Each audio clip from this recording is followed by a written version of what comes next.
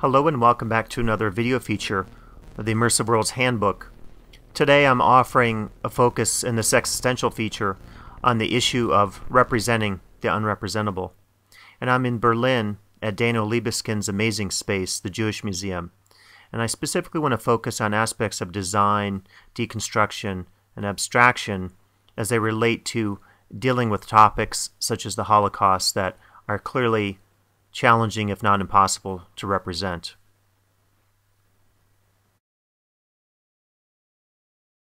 And let me read you an important project description given by Daniel Libeskind in terms of the inspiration behind the design of the Jewish Museum in Berlin.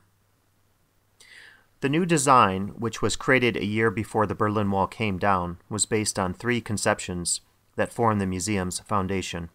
First, the impossibility of understanding the history of Berlin without understanding the enormous intellectual, economic, and cultural contribution made by the Jewish citizens of Berlin.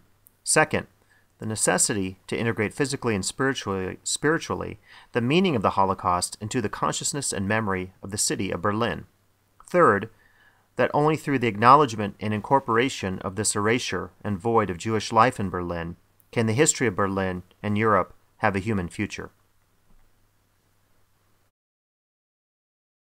I wanted to read you this quotation from Libeskind from his project design because I think it addresses his concept behind the museum and also addresses some of the criticisms that have been received.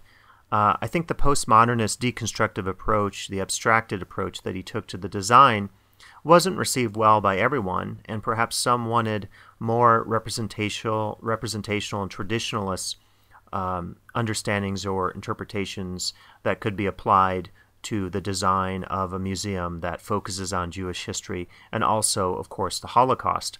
If you think of other museums that focus on genocide or the Holocaust in DC and the Museum of Tolerance in Los Angeles, certainly there are more representational and traditionalist approaches to dealing with such a difficult topic. I want to make the point, though, that I think in this case, um, as we read some of the quotations here of the architect of Libeskind's work, just when you enter the new part of the museum, he was trying to deal with issues that are unrepresentable and still trying to represent those.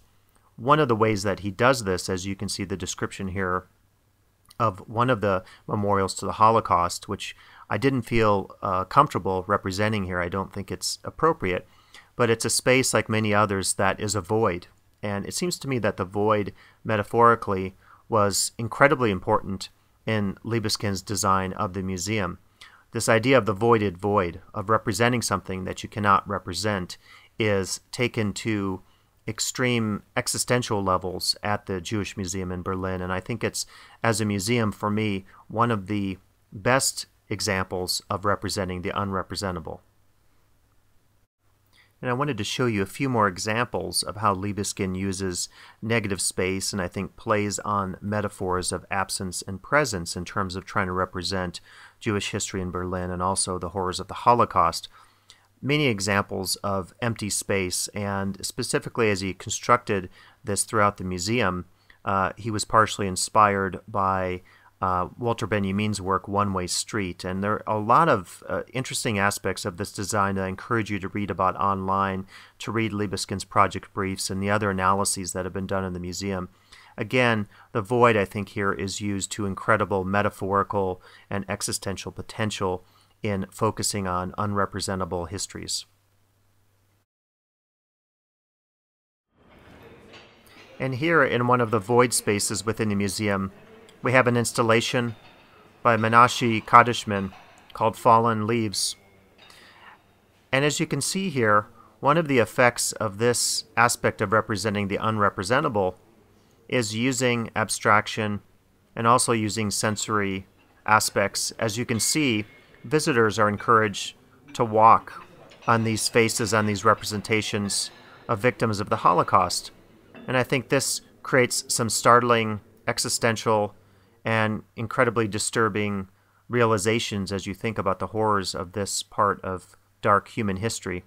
And this is one of many ways, I believe, that abstraction, conceptualization, negative space, and the void are used to remarkable and disturbing effect here at the Jewish Museum in Berlin.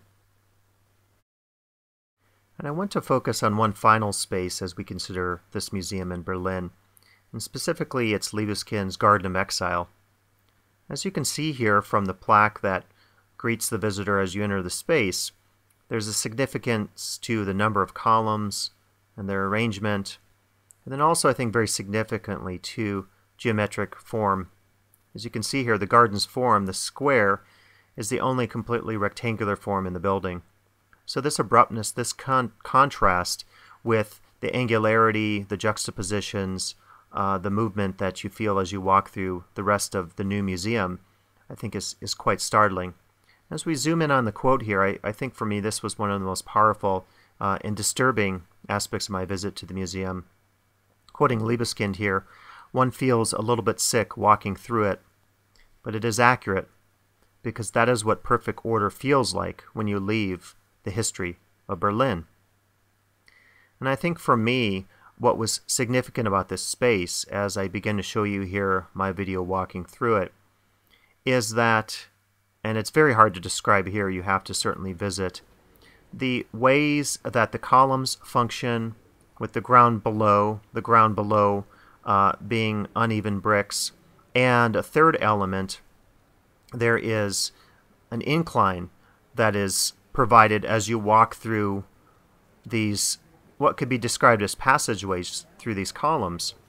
The overall effect of this, and I think the sense of isolation as you look up and you see uh, or experience be being trapped, I think the overall effect of this is incredibly disturbing in an existential sense.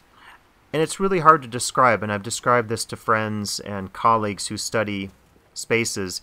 And uh, I just offered the idea that, like Libeskind's quote here, you really do feel this sense of uneasiness, almost a queasiness as you walk through the space. And I think this is accomplished through a number of design means. And for me, uh, is one of the most stunning designs I've experienced, particularly a design that deals with such a dark and disturbing period of human history.